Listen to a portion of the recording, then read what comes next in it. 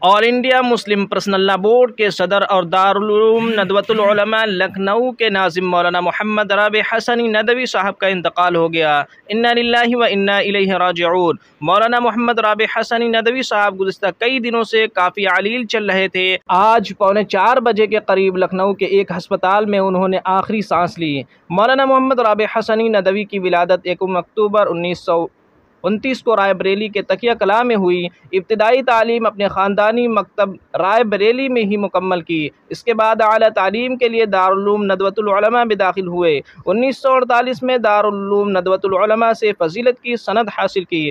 اس دوران انیس سو سینتالیس میں ایک سال دارالعلوم دیوبند میں بھی قیام رہا۔ انیس سو انچاس میں تعلیم مکمل ہونے کے بعد دارالعلوم ندوۃ العلماء میں معاون مدرس کے طور پر تقرر ہوا۔ اس کے بعد دعوت و تعلیم کے سلسلے میں انیس سو پچاس اور انیس سو اکیاون کے دوران حجاز سعودی عرب میں قیام رہا۔ انیس سو پچپن میں دارالعلوم ندوۃ العلماء کے کلیت اللغت العربیہ کے وکیل منتخب ہوئے اور انیس سو ستر میں عمید کلیت اللغہ مقرر ہوئے۔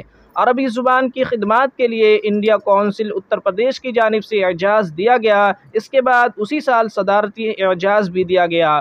انیس سو ترانوے میں دارالعلوم ندوۃ العلماء کے محتمیم بنائے گئے۔ اس کے بعد انیس سو ننانوے میں نائب ناظم ندوۃ العلماء اور دو ہزار میں حضرت مولانا ابو الحسن علی حسنی ندوی رحمۃ اللہ علیہ کی وفات کے بعد ناظم ندوۃ العلماء مقرر ہوئے۔ آپ عربی اور اردو زبانوں میں تقریباً تیس کتابوں کے مصنف تھے۔ Maulana Muhammad Rabey Hasani Nadwi All India Muslim Personal Law Board کے چوتھے صدر اور دارالعلوم ندوۃ العلماء کے حالیہ ناظم تھے۔